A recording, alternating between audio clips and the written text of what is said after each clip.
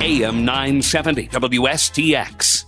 Okay, and I'm here talking, folks, with none other than author Tani Lamb, visiting with us here on her whirlwind tour. I should say, repeat whirlwind tour, but this time it's very, very special.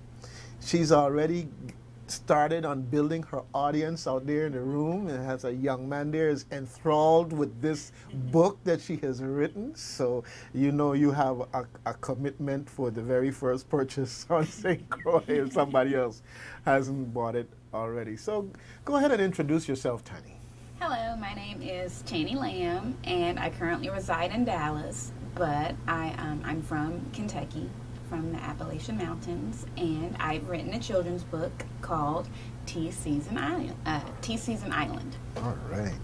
And there's a young man sitting on the couch reading T Sees an Island right now, and his exclamations of interest and, and uh, wonderment in reading that book. And um, he, uh, I'll tell you afterwards why it's so amazing to me because you know you have the, the iPad and the iPad is there, but he's in the book. And it's usually the other way around. So I'm very, very happy to see what I'm seeing there. All right. So uh, you grew up in the Appalachian Mountains. Yes. Okay. Tell me a little bit about what the Appalachian Mountains are in terms of your neighborhood.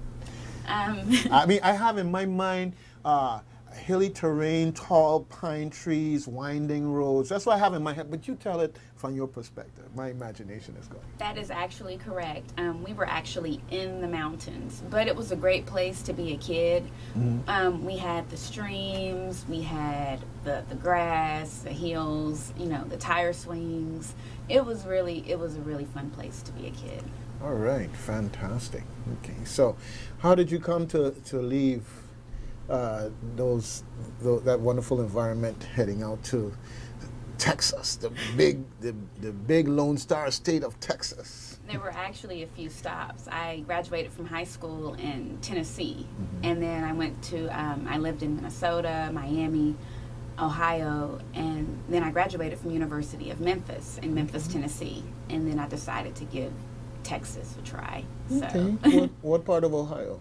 I'm Columbus. Columbus. Okay. Well, I I was up right up. Uh, well, I should say that more down the road, um, um, past Xenia, out in Wilberforce, Central State. Okay. Okay. So I have a little bit of uh, a history from from the Ohio Times, and at one point in time, we also take took a. Um, a youth steel pan orchestra up there, and we had a, a, a series of events that we performed at. Um, so got a little bit of history with with Ohio. All right, fantastic. So settled in Texas. Yes. All right. So now I, I know uh, you have a, a, another profession, and what what took you to that profession? Um, I love I love hair and makeup, and I just like helping women with their self esteem. So anything I can do to make you feel better. I love the look on my clients' faces. You know when they come in and I create a miracle, and they work and they walk out with a whole new them. So. Well, you, it sounds to me like you're lucky to be here because they, they were ready to go and blockade the runway and say, no, you can't go. All right, fantastic. So, now every every author, at least from my perspective, every author has a, a journey. Something happens. For some, it's from the time they were small, they were scribbling on something, and for others, it was they were always telling a story. The, the, the story is different for everyone. So, how uh, how did your journey take you to being an author? Um, I do remember being a small um, child and writing my first little book in my little toy room, but I used to love reading my encyclopedias. So I read a lot, which turned into me traveling a lot. So it it that's what encouraged me to write. I've seen so much, and I would love to encourage the children along with other people to not only read but also to travel. Well, one of the challenges when it comes to reading is, of course, the the the gadget games and all this other stuff is so alluring and, and, and consuming that the, the adults and teachers, and uh, whether they're actual teachers or just the parents, you have to make a concerted effort to make sure that they have that, that opportunity to spend some time reading. That that is the challenge, but uh, the, there's nothing more fertile than a child's imagination. So once they're reading something that they like, it's just like wow, it just takes off. So I commend you in what you are doing, particularly uh, the children approach, because lots of novels and stuff out there, but challenging children and just from what I saw out there on the couch, I'll say again, and it's like you're you're you're definitely on the right track. Okay, so tell us a little bit about Tani in the context of T. So the book is actually about my adventures, but I'm retelling it from my seven-year-old self. So all of the trips that I've taken, I decided to retell them. So this particular book was inspired when I visited here last year. So I had so I had an amazing time. Um, we went to Buck Island, we snorkeled, we snorkeled in St. Thomas, and it was just fun. Mm-hmm. And I felt like a little kid. Did so, you go on a seaplane when you went to St. I Thomas? Did. All right. Okay. All right. I did. Notching all the parts on the stick right down, making sure you check off everything. All right. Well, yes. there are a couple of other things we talked about out there, like the luminescent bay and stuff like that. But definitely don't leave without getting your ice cream. Yes. All right. So I'm, I'm glad to hear that this is a, a return trip because you had me there for a moment. I was thinking this is her first time here, and another island might have been the the uh, the what caused the genesis of this book. But I'm so happy to hear, folks. Uh, we were talking about this beautiful island, and we have to take care of it. And the island hospitality is something we want to live on. And here you have living proof in the in the form of this children's book being in essence something uh, that originated out of visiting St. Croix. All right. Good, good. So I, I hope that it's the, the second of many visits. There's so much to see and so much to do. So, um, places in the world that you've traveled. Let's talk a little bit. You don't have to recite them all like it's a school assignment or anything like that. Just those that jump out at you. Um, my favorites are Barcelona, Malta, Vienna, and Egypt. Mm-hmm. And what made them favorite to you? Um, Egypt was on my checklist from when I was a kid. I had to see the pyramids. You know, it was just one of those. You think about the pharaohs, the hieroglyphics. I had to see it with my own eyes. All right, fantastic. So this afternoon, your book will be signed by you, I should say. My copy of your book will be signed by you for sure, okay? Because uh, you see, that young man has to have one to go home with for sure. Okay, and um, that's going to be here at Undercover Books. So, uh, you discovered Undercover Books how?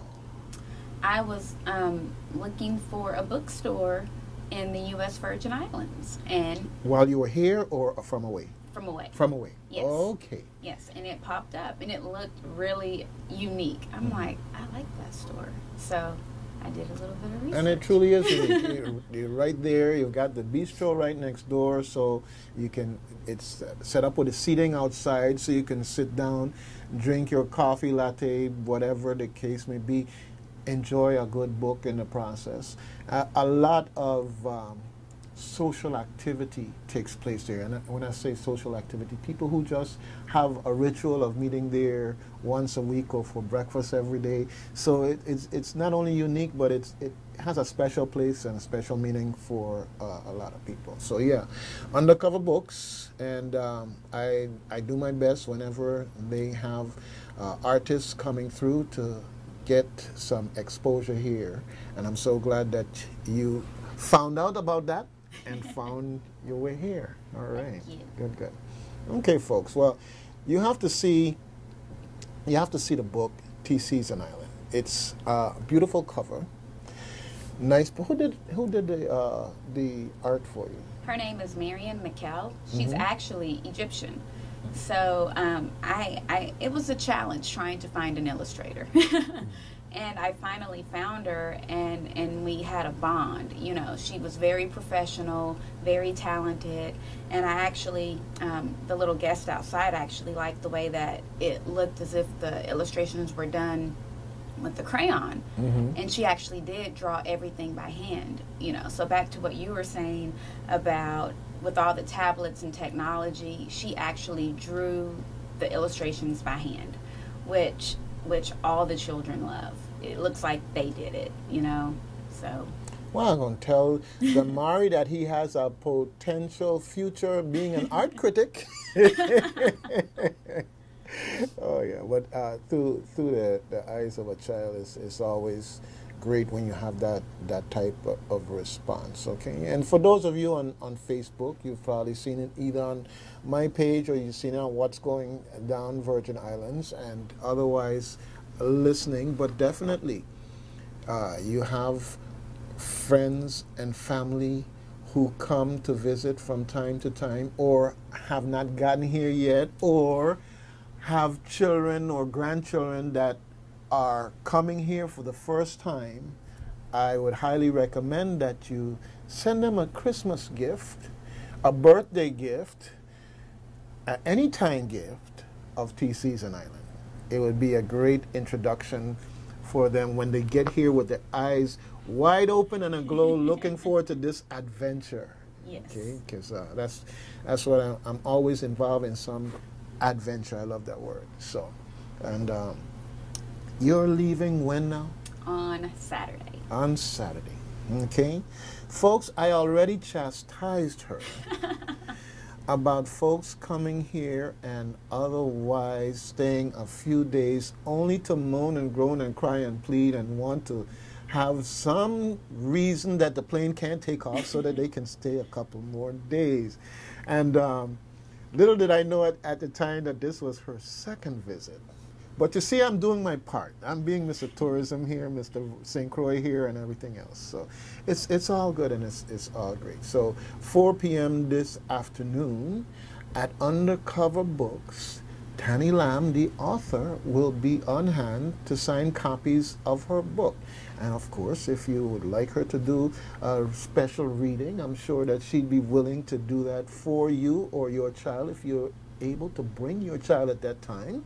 It'd be great, great, great, great. And um, and you're leaving Saturday. Are you going to be here to be able to do a reading on Saturday by chance, or you've got an early flight? um, the flight leaves at 2 Oh, okay. All right. Uh, I, I said I can uh, undercover books. They do have a children's reading hour or something there that they do, and I I put it that way because I planned for it, and then I had something else I had to do. The young man got to go, so the big kid got left out. but uh, definitely, so if not this time, for the next time Yes. around, and uh, that way you can have some of your other books that will have blossomed by then, in terms of talking about your travels and adventures. yes All right, fantastic. So from St. Croix is going back to Texas, or Um, or you're on the tour?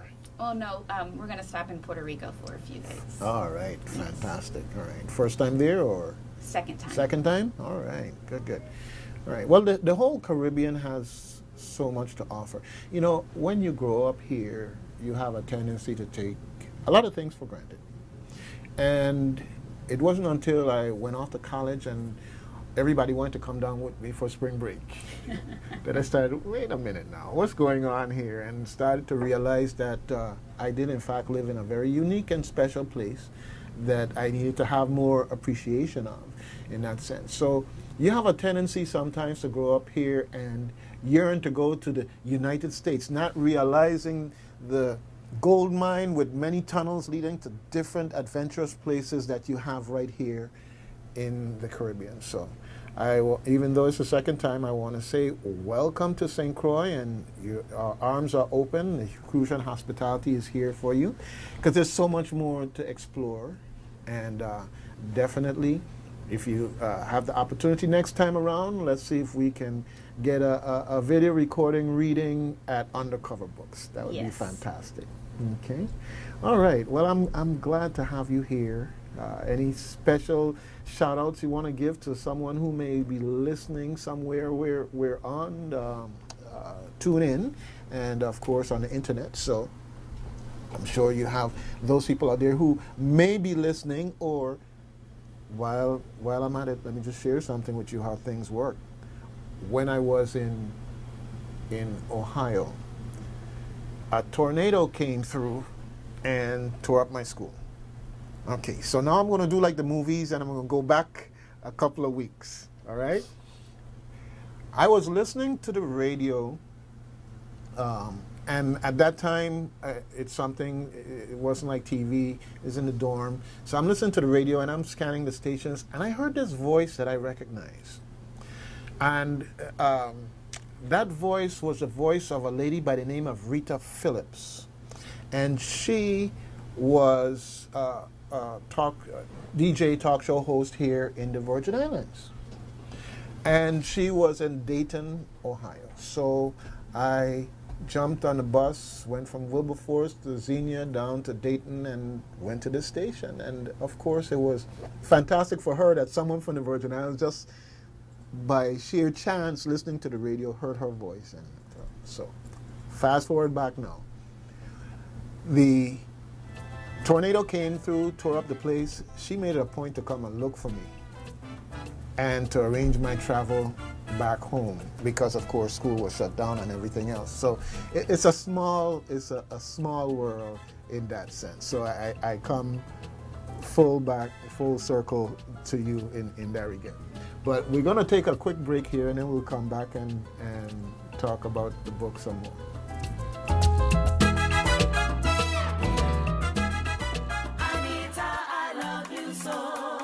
Hello, this is Doc Peterson. And this is Peter Abrahams inviting you to join Join us every Friday from 8 to 10 a.m. where we discuss events of the day. and upcoming events with a nostalgic touch. That's AM Friday with Doc Peterson and Peter Abrahams. It ain't Friday until I say so. On your mark, get set, get set. Here we go, here we go, here we go.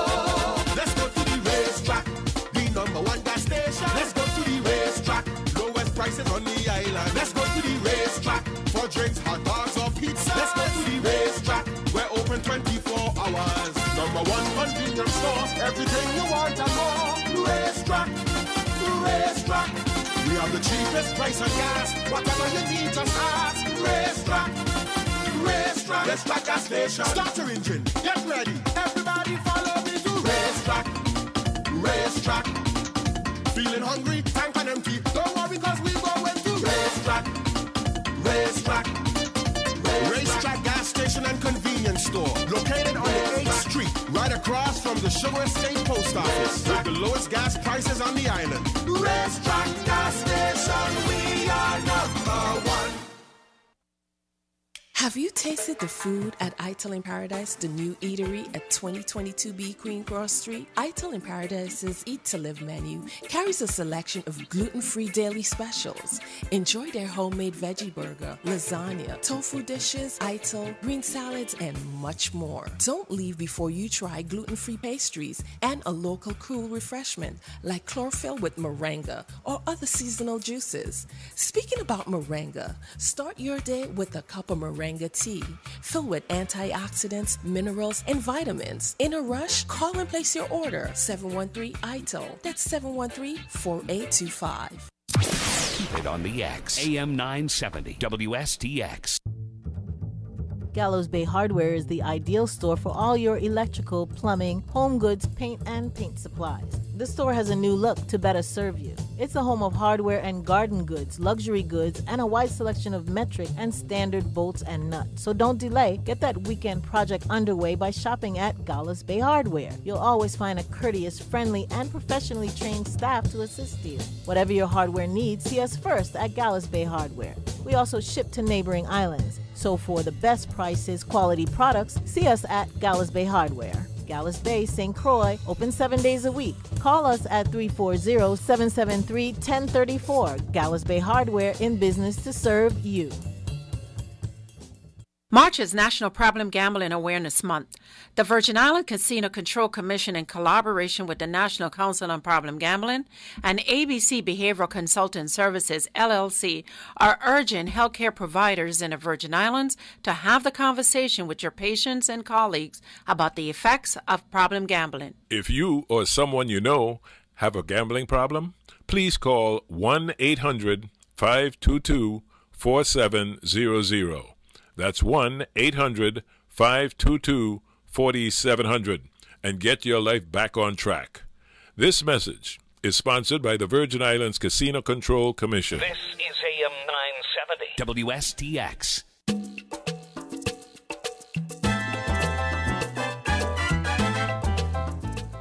All right, we're back.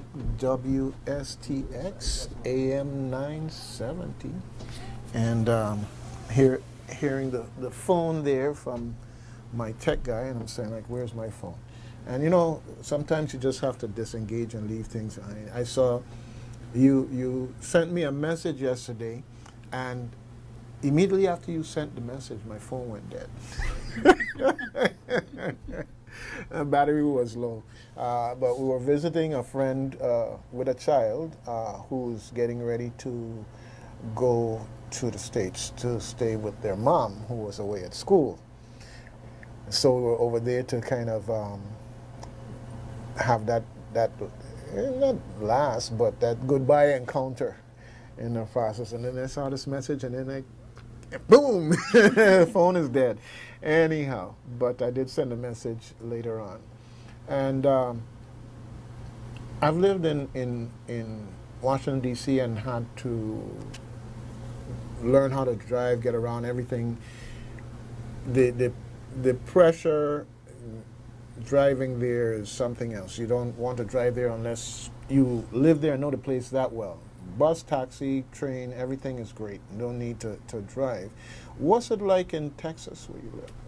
Well, we have um, a lot of people are moving there, Mhm. so our traffic has gotten it's gotten pretty tough, Mhm. and they're trying to expand all of the interstates, and that creates another Mhm. another issue. But it's gotten it's gotten difficult. okay. Right. Yes. Well, you know, um, from the from the days of, of horse and carts, in terms of here, you know, from the days of horse and carts, things have gotten a little bit uh, more difficult here. Also, because everybody wants to own a car. Of course, everybody wants to sell you a car. Uh, that's that's just part of the American way, I guess. Uh, and public transportation in some ways has been slow in coming and slow in gaining consistency. Uh, and then the things like the private taxi buses are in competition or they see that as competition, so they exert their political influence to hopefully not have too much expansion of, of that. Uh, I went to, to Denmark last August. Uh, you ever been that side of the country? Yeah. Okay. Well, it was amazing to me. You see on TV people riding bicycles, but it was amazing to me the extent to which they had. The, in, I, I say integrated, but really it was always a part of the way that, that they lived and, and, and got around.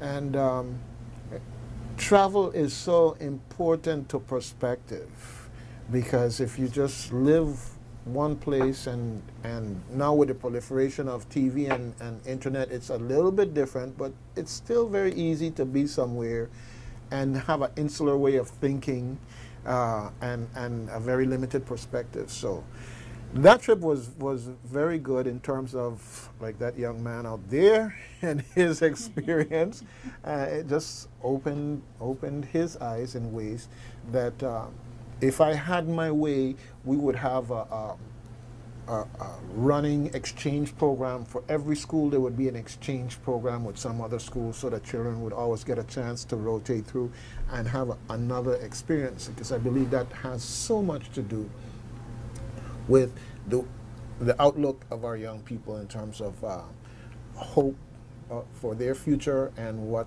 they should be expecting, and that's that's a big part. Their expectations, because if they have low expectations, we're in trouble. we're in trouble. So we want to make sure, as much as possible, that they have a, a great sense of adventure. Now, um, I haven't had the chance to to read the book. Yes, I read it too, and I tried to get him to read to me. But if I could just stay awake long enough to hear the end of the story, that would be great. But I like the exercise. I would rather him uh, criticize and admonish me for not making it through, okay? And I tell, okay, try harder. Next time, maybe I'm going to work with you, okay? And uh, but you have to use these strategies as far as keeping them engaged, not only for their imagination, but the interaction as parents or grandparents or aunts and uncles, so that for them, reading for someone is a skill that they they're not even realizing they're learning, but they have it, and and they'll be able to do it and appreciate it, because my daddy did that with me, or my mommy did that with me, and my grandma did that with me, so forth and so on. Um, so you you have family in in, in um, Kentucky still, or I do. My okay. grandpa and my aunt Vivian. Okay, fantastic. All right, so uh, you make it a point to get by there on a regular basis. Yes. Definitely, family is everything. Family is everything. All right, we just had a, a, a family reunion here for uh, one branch of of my family, my paternal grandmother, the Roebucks. We had a, uh wonderful time meeting all these people from all the way down to Australia to all the way to Denmark, and it's just it's amazing. And if you don't do things like family reunions, there's so much to lose, and you have so much more to gain just by doing it. So I'm I'm a proponent of that. I was down to I told you about the Landmark Society. If you get a chance to go down there and and visit, uh, there was a family down there. The um, um, oh my goodness! You see, this is this is what happens. You know, Pell family. Anyhow, they they had a, a reunion group there, and there was a performance going on. And that particular organization museum, they tried to coordinate uh, so that family reunions that happen around this time of year, we have a, a, a program called Come Home to St. Croix, right? So have you, uh, if you get a chance, also in terms of visiting St. Croix again, uh, there's certain things that happen here regularly every year. For instance, we have a fantastic uh, agricultural fair fest here in February, and of course, we know that um, places like Texas, it may not be hail and sleet and snow, but it ain't that warm either. So you could always come here that time and take plenty of pictures and um, let it, and, and be the envy of everyone when when, when you go back. Uh, also, we have uh, uh, festival slash carnival in in uh, December, January, really end of December, January, and that's that's a great time also in terms of things going on here. Uh, local food, we had much of an opportunity to to to dig into local Virgin Islands food. Um, not this time, Mhm. but I had some the first time. Okay, good, good. Well, we, we have some, some stalwart restaurants here. One in Christiansted, uh, Harvey's in particular, that uh, I would highly recommend that you, you visit. But uh, definitely, uh, just consider us here at WSTX part of your extended family next time. Touch bases when you come down, and we can give you a few non-commercial pointers, things that might be kind of off the beaten path that are fun and, and great experiences along the way. Every now and then we have uh, visitors from some of these uh, chef shows or, or exotic food shows that come through here, and they discover a lot of interesting things. So you can find some of that on the uh, on the internet and on YouTube. So, ha- are you already contemplating the next book? Yes. Um, the next two are going to be T Sees the Colosseum for Mm. Rome, and then T Sees the Pyramids in Egypt. All right, all right. Well, keep keep them coming. I'm looking forward to it, and seeing as how you have extended family here now that's looking forward to it, keep them coming. Yeah, and I look forward to hopefully doing some of that ga- gallivanting a- along the globe and take that young man along, let him see through his eyes, and hopefully, just like you and your experiences, to spark something. Yes. Yeah, definitely. All right. Okay, and um, in terms of uh, family, uh, Kentucky, any other any other states? Um, my mom is in Tennessee, Mm-hmm. and I have family in Ohio still, in Cleveland, and Columbus, Mhm. Detroit, um, and then Louisville. All right. I have, I have friends in Ohio who come down here on timeshare every year, and we make it a point to get together. And I've been up there in Hayden, Hayden, Ohio, um, and so Ohio seems to be we have a, a, common ground. Keep getting back to to Ohio. Well, I'm really glad that you took the time out to come in here and spend some time with us here today. Uh, this this time is all yours. So if there's anything that I neglected to touch on that you want to touch on, definitely this time is yours. I love this picture. I love this picture. you. All right, give my compliments to the artist. Miss Marian Mekhail. Yes, yes, definitely. Has she ever been to the Virgin Islands? I don't believe so.